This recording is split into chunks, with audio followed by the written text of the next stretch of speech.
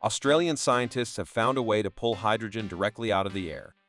Scientists from the Monash University Biomedicine Discovery Institute in Melbourne, Australia, have revealed via their hydrogen research that they have produced and analyzed an enzyme that pulls hydrogen from the atmosphere and transforms it into electricity. The enzyme is called HUC and comes from a common soil bacterium.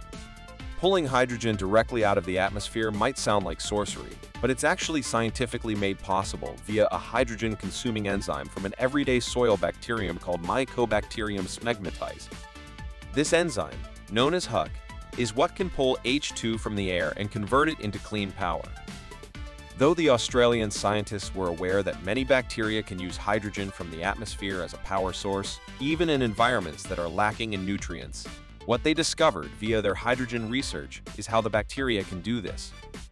We've known for some time that bacteria can use the trace hydrogen in the air as a source of energy to help them grow and survive, including in Antarctic soils, volcanic craters, and the deep ocean. But we didn't know how they did this until now, said Professor Chris Greening, who was part of the research team. The scientists found some of the hydrogen research quite astonishing. In addition to having the ability to transform trace amounts of hydrogen into electric currents, HUC, when purified, can be stored for surprisingly extended periods of time. It is astonishingly stable, explains PhD student Ashley Kropp. It is possible to freeze the enzyme or heat it to 80 degrees Celsius, and it retains its power to generate energy. This reflects that this enzyme helps bacteria to survive in the most extreme environments. Additionally, what makes the hydrogen research findings even more astonishing is that the bacteria that generates the enzyme can be grown in large quantities. As such, it is an extremely sustainable resource.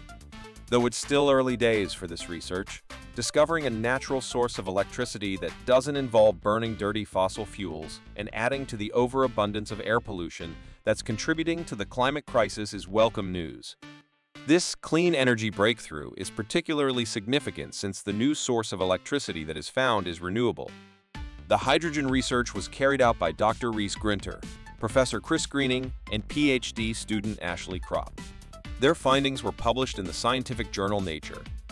The next step for the scientist is to produce HUC on a large scale. Finding this video interesting? Hit subscribe and grab our newest ebook on the link below. And leave us a comment.